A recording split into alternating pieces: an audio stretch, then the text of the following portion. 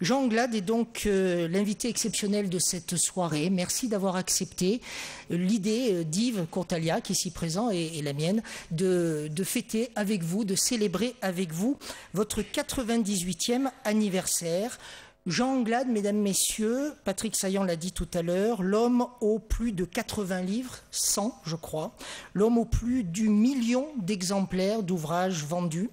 Jean Anglade, enfant de tiers, qui tout en devenant homme aura vu naître et se développer, écoutez bien les enfants, ça va parler aux autres, écoutez bien les enfants, le tube à néon, la congélation, le four à micro-ondes, la télévision, le stylo bille, le laser, le microprocesseur, le DVD, et puis je vais faire comme à la télé, et la mini-jupe aussi. Et à la télé, vous m'avez fait une belle réponse, mais ça, on va la laisser pour la télé, justement, votre réponse, parce qu'ici, on est au centre diocésain, alors bon. Et puis, vous avez également, vous avez également vu le, marcher le premier homme sur la Lune. Ça, c'est pour les grandes innovations du siècle dernier, un siècle qui aura vu aussi, on le sait, et les plus jeunes le savent aussi, ils euh, étudient aussi ces, deux catastrophes mondiales, les deux guerres mondiales et puis de nombreuses catastrophes naturelles. Est-ce qu'il vous arrive, Jean, de, penser un petit peu à, à, toutes ces évolutions et de vous dire certains matins, mais que le monde était différent quand j'étais plus jeune? Moi, j'ai vécu au temps des vaches des vaches, des chevaux qui tiraient les chars. Les automobiles pratiquement n'existaient pas. Hein. Les, premières automobiles, pour les mettre en marche, il y avait une douzaine d'opérations à faire. Il fallait ouvrir, ouvrir un robinet, fermer, etc., tourner la manivelle, etc. Alors que maintenant, c'est tout automatique. maintenant, tout est automatique. Et je pense que les hommes aussi deviennent automatiques. Est-ce que vous avez le sentiment que le monde est meilleur aujourd'hui? Non, je ne crois pas qu'il soit, soit, meilleur. Il est différent. Il est très compliqué.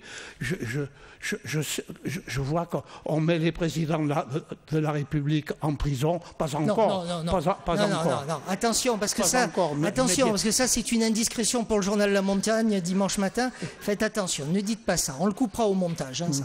Voilà. Il est vrai qu'il y a eu déjà des scandales des présidents de la République, le scandale de Panama, etc. Et puis et le, scandale de Félix Faure. Oui. Vous, le, connaissez celui-là? Oui, oui. Ça vaut la mini-jupe. Hein. Est-ce que, je dois, est que je dois le répéter? Non. Non, il vaut, il vaut mieux pas. Non, voilà. Il, est, très, il est très connu. On, peut répéter la, fameuse phrase. Alors allez-y, oui. La, première phrase, il y, a, une personne qui voulait parler à, Félix Faure et il a demandé est-ce que le, président a toujours sa connaissance? Et on lui a répondu non, et elle est sortie par la porte de derrière. Il a 98 ans quand même, hein Bon, le, reste ne m'intéresse pas, mais, cette histoire de la porte derrière, je trouve que c'est très humoristique de le raconter. Jean, le raconter. regardez la photo qui défile sur le prompteur. Voilà, c'est mon père quand il avait 20 ans.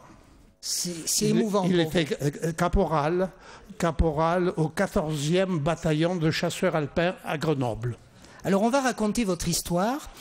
Vous m'avez confié être, enfin, de voir la vie à la mort de votre première sœur, que vous n'avez pas connue par définition, mais si cette dame était restée en vie, vous ne seriez peut-être pas né. Oui, je ne serais pas né. La contraception, ce n'est pas une invention nouvelle. Il y a des gens qui l'ont pratiquée euh, d'une façon un peu rudimentaire et j'ai jamais demandé les détails. Hein. J'ai jamais demandé les détails. Moi, j'ai un peu d'imagination. On va coucher les enfants peut-être dans 15 minutes. Hein, monsieur le Président, il va falloir organiser ça. C'était pas prévu. J'ai pas demandé les détails, alors que habituellement, euh, dans les familles auvergnates, paysannes, il y avait 10, 12, 14 enfants. Eh bien, chez moi, il y a eu une, petite fille, Jeanne. Jeanne, ma sœur, qui est née, si je ne me trompe pas, en 1912, en 1912, et qui a vécu six mois. Au bout de six mois, elle a eu, je ne sais pas trop quelle maladie. On, parlait de diarrhée verte. Je ne sais pas ce que c'est que la diarrhée verte. Au bout de six mois, elle est morte et j'ai une photo d'elle dans, son berceau. Elle a l'air de dormir. Elle ferme les yeux. Elle a l'air de dormir. Et ma mère m'a toujours répété, quand, quand j'étais jeune, si cette petite fille avait vécu, toi, tu ne serais pas né. C'est un petit peu difficile, non, d'entendre ça toute sa vie? Ben, j'étais, j'étais pas très grand quand elle m'a raconté ça encore. Qui je avoir une quinzaine d'années quand même. Alors, on va, pas demandé de détails. Hein. On va continuer à regarder les photos et je remercie Jean-Baptiste Cheman qui est à la réalisation de cette soirée. J'en profite aussi pour remercier Georges Abicatar, Sylvie Buff et Nathalie Goncalves qui m'ont aidé à préparer cette soirée. Ça, c'est donc une photo où on voit une partie du régiment de, de votre père.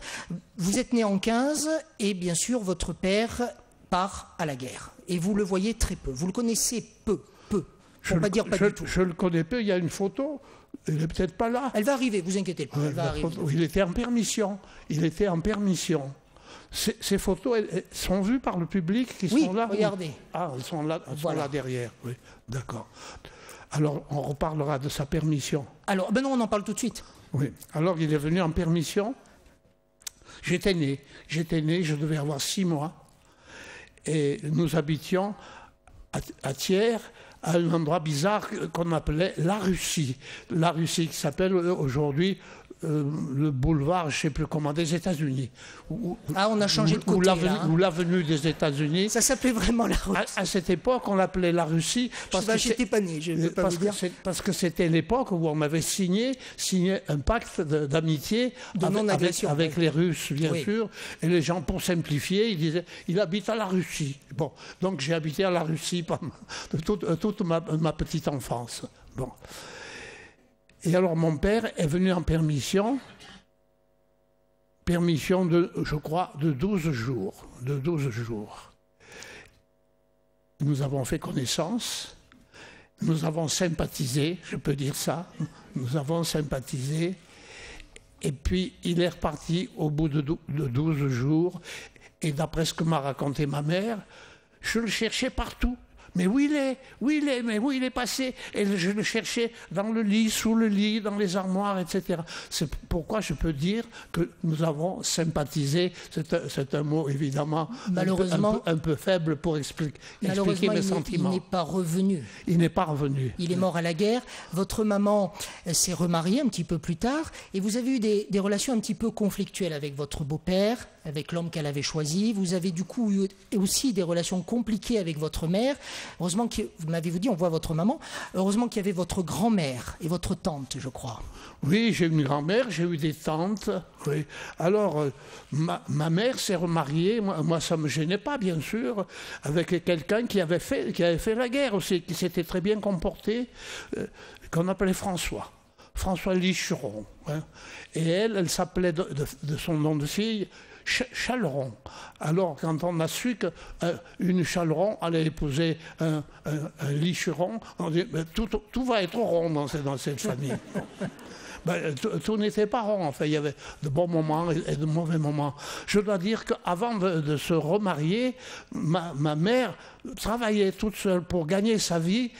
Elle faisait des, des corsets des avec des, des, busques qui étaient à l'intérieur, c'est-à-dire des lames, des lames d'acier qui, soutenaient, qui remplaçaient le soutien-gorge. Hein qui remplaçait le soutien-gorge. Il y avait des, busques qui, qui, traînaient un peu partout. Alors moi, j'en ramassais, je les pliais en deux, je les lâchais et ils sautaient au plafond. Donc, Ça faisait un parachute à l'envers. voilà. Alors j'ai commencé à avoir des, rapports avec les soutiens-gorge, pardon. D'accord. On va continuer Avec les busques, avec les busques. tout, jeune, tout jeune. Alors là, on vous voit sur les, genoux de votre maman, je crois. Oui, voilà. Voilà, hein, sur les genoux de votre maman. Jean, euh, quand vous... Elle n'est pas, pas encore remariée. Elle n'est pas remariée. Euh, malgré euh, le fait qu'elle se remarie avec votre futur beau-père à l'époque, euh, la vie est difficile pour elle, pour lui, pour vous. Vous vivez dans une extrême pauvreté, vous ne vous en êtes jamais caché. Que gardez-vous de, de, ces moments de vie quand vous étiez enfant, alors qu'aujourd'hui, je ne veux pas être désobligeant, mais quand on a vendu plus d'un million d'exemplaires, je pense que ça va mieux pour vous financièrement. Oui, oui, bien sûr, surtout au moment de la déclaration de, l'ISF et, des impôts, et des impôts sur le revenu. Je, Alors, je suis en pleine dedans. Quand vous remplissez la déclaration de l'ISF, c'est génial parce qu'on a eu déjà cette conversation, il m'a absolument pas répondu ça à la télé. C'est ça qui est génial. Euh, c'est lui qui m'a là. Euh, vous, pensez à ces moments difficiles d'extrême pauvreté? Je n'ai pas été malheureux, même dans cette pauvreté. on me nourrissait avec des pommes de terre, des pommes de terre en salade, des, choses toutes simples, très élémentaires, et, et j'aimais ça. Bon des pommes de terre écrasées qu'on appelait le patia. Les gens qui ont connu un petit peu le, patois auvergnat, ils savent ce que c'est que le patia. Qu'est-ce que c'est que le patia? C'est des pommes de terre cuites à l'eau, et qu'on écrase, qu'on écrase dans, euh, dans une assiette, et puis on y met un petit peu de vinaigre comme assaisonnement, et, et ça donne du patia. Et quand on en a mangé une pleine assiette, on est bien bourré, on n'a pas, besoin d'autre chose. Donc vous, aviez, vous avez vécu différemment, mais vous n'étiez pas pour autant malheureux Non, j'étais pas malheureux matériellement, j'étais pas malheureux. Non, non. Est-ce que ça vous a... J'étais malheureux parce que j'ai eu une petite sœur une petite sœur qui, avait 6 ans. Euh, j'avais 6 ans quand elle est née. Alors, on elle s'appelait Marthe. On va voir en photo euh, Marthe. Je vais demander à Jean-Baptiste d'avancer un tout petit peu euh, les photos. Donc, la voilà, la petite Marthe, quand elle arrive au monde, enfin là, elle est déjà un petit peu grande dans les bras de, votre maman. Cette femme, Marthe, vous en êtes resté très, très, très proche. Euh, j'ai toujours adoré cette petite sœur. J'allais la chercher à la crèche. On la, plaçait à la crèche qui était tenue par des religieuses à Thiers. Et moi qui avais, qui avait cet ans-là, cet âge-là, 6 ans, 7 ans, je n'avais pas peur, on n'avait pas peur de me confier ma petite sœur. Hein. et il n'y avait pas de danger, je ne la, la laissais pas tomber. Hein. On va voir une photo. J'ai toujours adoré ma petite sœur. De vous avec Marthe, alors ça c'est vous, quel beau jeune homme. Voilà, ça c'est Marthe, plusieurs années plus tard, c'est euh, chez vous. Euh, vous êtes resté très très proche d'elle. Bien sûr, euh, deux autres femmes dans votre vie, votre épouse, qui malheureusement nous a quittés il y a quelques quelques années. Ça, c'est encore euh, Marthe. Voilà votre épouse. c'est ma femme. Marie. Et puis, on aura aussi une photo de, votre fille. Vous m'avez, voilà votre fille, vous m'avez confié avoir vécu des moments très difficiles sur la fin de la vie de votre femme. Elle était malade et ça a été très dur. Elle a eu la maladie d'Alzheimer. Elle, ne me reconnaissait plus à la fin. Bon, je n'ai pas, pas, besoin de vous dire ce que c'est que la maladie d'Alzheimer. Ça se multiplie de plus en plus et elle ne me reconnaissait pas. J'ai été obligé, parce que, quand, j'étais seul avec elle, le soir, elle ne voulait pas se coucher et le matin, elle ne voulait pas se lever. Comment faire hein? J'avais une aide ménagère qui faisait de son mieux pour, pour arranger les choses. Mais j'ai été obligé de la, de la, mettre dans une maison de retraite, dans une maison de retraite où elle a terminé sa vie on, ne meurt pas de la maladie d'Alzheimer, elle, est morte d'une embolie pulmonaire. Hein. Bon, donc, et j'allais la voir tous les jours quand elle a été là-haut, à Ceinture-les-Roches. J'allais la voir tous les jours. Et on m'a fait des compliments après pour ma, pour ma fidélité à aller la voir. Je ne méritais pas de compliments, mais c'est pour, pour signaler que, que je ne l'abandonnais pas. Vous êtes resté proche d'elle jusqu'au bout? Je suis resté près d'elle jusqu'au bout. 15 ans, 96, 97 ans, 98 ans. Malheureusement, certains voient les autres partir, ceux qui Elle est morte à 89 ans. Elle est morte à 89 ans. Quand on a l'âge que vous avez, on voit partir, c'est naturel, on voit partir ceux que l'on a aimés. Et qu'est-ce qui vous donne la force, vous, de, tenir Qu'est-ce qui vous donne la force de tenir, vous? Ah, c'est l'amour. Je, je l'aimais beaucoup. Je lui parle tous les soirs je dois confesser que je ne fais pas une prière religieuse tous les soirs. Ma prière, c'est de parler à ma femme, à ma sœur, Marthe, et à d'autres personnes de ma famille, en leur demandant de, m'aider à mourir et de faire en sorte que je meure avant ma fille et mes petits-enfants. Parce que j'ai eu un très grand malheur en perdant ma femme.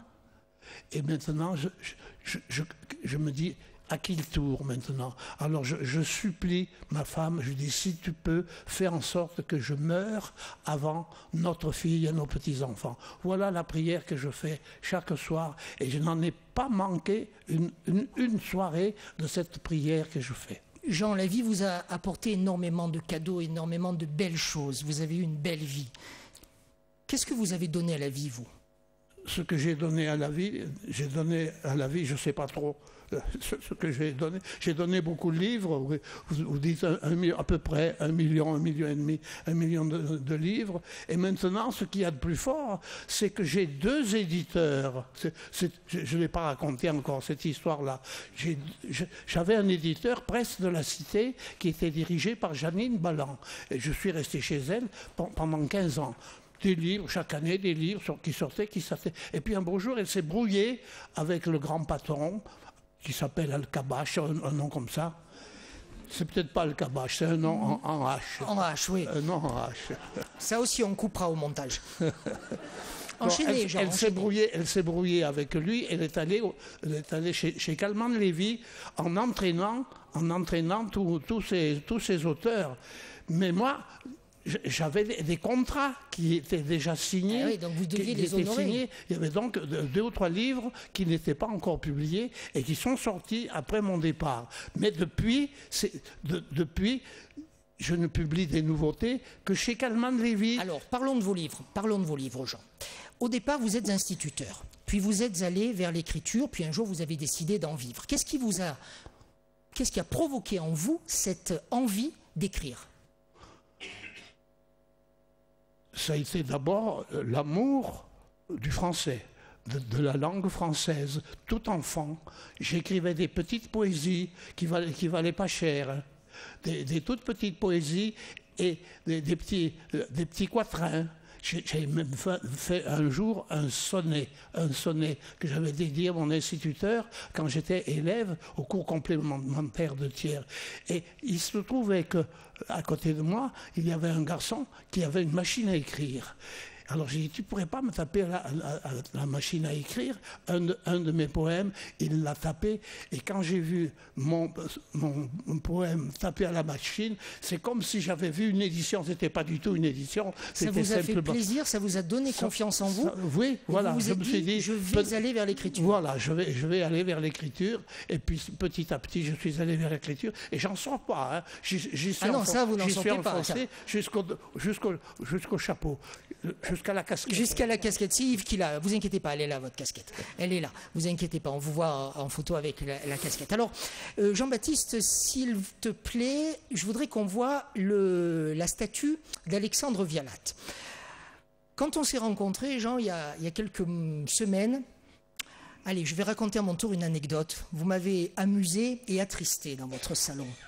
Parce que vous m'avez dit, je veux parler de Alexandre Vialat, c'était mon meilleur ami, mais moi, je ne crois pas avoir été son ami. Non, j'ai pas été. J'ai cru longtemps parce qu'il il me manifestait tellement, tellement de sympathie, tellement d'amitié, que et puis moi j'avais pour lui tellement d'admiration que je pensais qu'il était mon meilleur ami. Non, il n'était pas mon, il était mon meilleur ami, mais moi je n'étais pas son, meilleur, ami. Et son meilleur ami, c'était Henri Pourra. C'était Henri Pourra. Ça vous a attristé? Non, J'ai trouvé ça assez logique parce qu'il connaissait Henri Pourrat depuis bien plus longtemps qu'il ne m'avait connu, moi. Il l'avait connu, il était tout enfant. Il avait même euh, il avait un frère d'Henri Pourrat qui, qui, s'appelait Louis et qui est mort jeune et qui était un compagnon d'enfance de, de Vialat. Donc je comprends très bien que pour, pour qu'il ait eu pour, pour Pourrat une admiration, une admiration totale. Euh, on, on continue à parler d'écriture un petit peu. On va regarder votre, voilà, votre bureau, c'est euh, ici.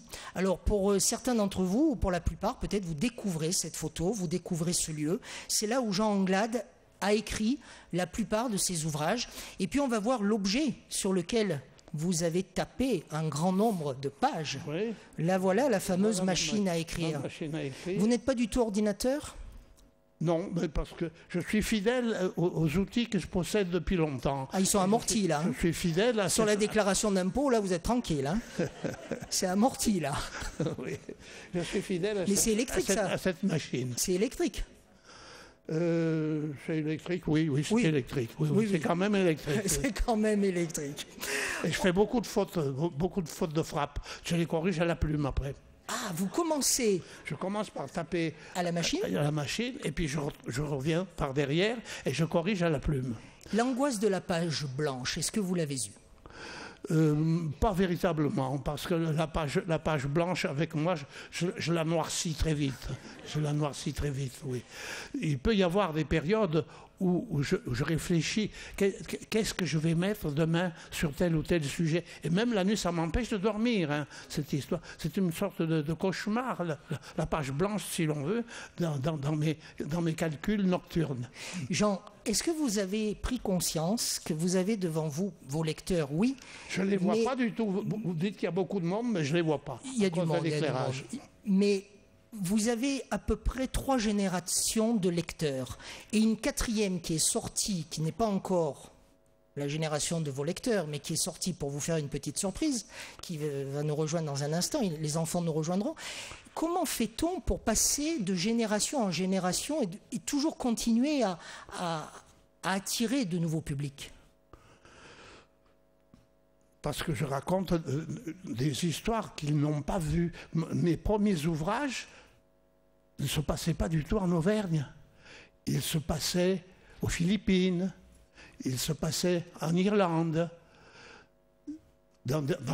en Allemagne, dans l'Allemagne détruite, l'Allemagne année zéro. Il y a un film qui s'appelle Allemagne année zéro. Et j'ai raconté dans, un roman comment vivaient les, Allemands dans l'Allemagne complètement détruite parce que je me disais, l'Auvergne n'a pas besoin de moi. L'Auvergne a Henri Pourra. L'Auvergne a Henri Pourra. Et là, Alexandre Vialat. Et là, d'autres, d'autres auteurs, moins connus qu'Henri Pourra, mais des auteurs très sérieux qui, qui écrivaient sur l'Auvergne. Alors donc, moi, je parlais d'autre chose. Et ensuite, les Auvergnats vous ont adopté, ils vous ont aimé. Et alors, un, jour, j'ai publié Une pomme oubliée. Une, en le 1969. entendu. J'ai publié Une pomme oubliée qui a eu un tel succès que je me suis dit, c'est un coup de pied que, l'Auvergne m'envoie dans les jambes, hein, pour, me dire, et moi, tu penses à moi, pourquoi tu et penses on vient de le rééditer. On vient de le rééditer. Je vous ai écouté sur RCF, c'est pas une blague, j'étais dans ma voiture, je vous ai écouté avec Gérard Georges sur RCF nous parler de la réédition d'une pomme oubliée. Réédition d'une pomme oubliée, la première édition c'était en 1969. Et la dernière, là, 2013. Et la dernière, c'est cette année. C'est 2013. Jean, on va voir une, une dernière photo de vous avec un psychiatre, psychologue très célèbre, Boris Cyrulnik, l'auteur de la fameuse résilience hein, qu'il faut vivre quand on a tous des, coups difficiles, des coups de blues. Alors ce jour-là, il est peut-être un petit peu moins connu, Cyrulnik. Euh, vous êtes un peu plus jeune, vous aussi. Vous êtes à Paris pour la remise du prix Blaise Pascal. C'est une jolie histoire, je vais vous proposer de nous la raconter, puisque les Parisiens ne voulaient pas venir vers les Auvergnats, les Auvergnats, dont Anglade, sont allés vers les à Paris avec, avec le maire de Clermont, qui, s'appelait, rappelez-moi son nom. Roger Quillot. Roger Quillot. Et il y avait moi, je ne sais plus qui, il y avait d'autres personnes qui m'accompagnaient. Puisque les, les, Parisiens ne veulent pas venir à Clermont, on va aller donner le prix. On avait d'abord euh, choisi, on avait choisi l'ouvrage de Boris Cyrulnik et on va donner le prix de, à l'hôpital de Port-Royal. De, Port-Royal, qui avait été précédemment un, établissement de, de, jansénistes, de jansénistes, qui avait donc été fréquenté par tous les jansénistes, en, commençant par Blaise Pascal, sa sœur Jacqueline, etc. Toute la famille avait fréquenté. Bon, et alors, puisque ne veulent, les, les, les, les, critiques, les critiques parisiens ne veulent pas s'intéresser au prix Blaise Pascal, eh bien, on va essayer, parce qu'on le donnait précédemment au sommet du Puy-de-Dôme. Il, il, venait personne. On payait tout, on payait le voyage, mais il, y en avait deux ou trois lignes dans, dans le monde, des, choses comme ça. Alors, on, dit, on va aller donner le prix, et on est allé donc à, à, Paris. À, Paris, et c'est Boris Cyrulnik qui, qui a eu le prix. Et on avait préparé un goûter tout à fait au fond, tout à fait au fond, pour, nourrir le, public. Vous savez combien il est venu de personnes? Une personne. Bah au moins vous avez pu Un Parisien. Un Parisien. Un vrai Parisien. Alors, nous n'avons pas mangé tout, le buffet qu'on avait servi, mais c'est vous indiquer le mépris que certaines populations parisiennes, pas toutes, que certains, que certains Parisiens ont pour, pour l'Auvergne d'une façon générale. Et pour les habitants de l'Auvergne. Jean, j'ai une dernière question, parce qu'après, il y a une petite surprise qui vous attend, et puis il y a surtout le film aussi. Il y a le film dont on va parler dans un instant avec euh, Yves Courtelia, qui est le réalisateur. On dit que les plus beaux projets sont ceux que l'on ne réalise jamais. Quel est votre plus beau projet? Mais vous savez, j'ai tellement réalisé de, projets euh, que, je n'avais pas prévus, hein, que je, travaille toujours dans l'imprévu. Je travaille toujours. Je ne sais pas aujourd'hui ce que je vais mettre demain. Surtout aujourd'hui. Pensez au roman que je suis en train d'écrire et qui s'appellera, qui, qui sera publié l'année prochaine et qui s'appellera Une paire de pères. Une paire, de, paires. Une paire P-A-I-R-E, de paires P-E-R-E-S. C'est l'histoire de deux euh, pères, de, deux garçons qui, sont homosexuels. Ils sont, ils, vivent, ils vivent ensemble. Ah, vous vivez avec votre temps, vous hein? Ben, Je vis avec mon temps. D'accord. Ils vivent ensemble et puis ils ont, ils ont l'idée, ils ont l'idée un jour d'adopter un enfant.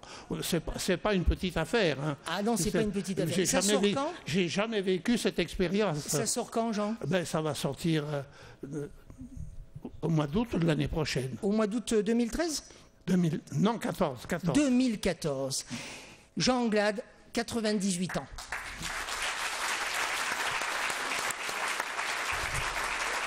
Jean, vous restez avec nous. On a voulu vous faire une surprise avec la dernière génération de vos lecteurs, dont certains des enfants ici présents ce soir ont joué dans le film que nous verrons dans un instant. Ils arrivent sur un air que nous connaissons tous.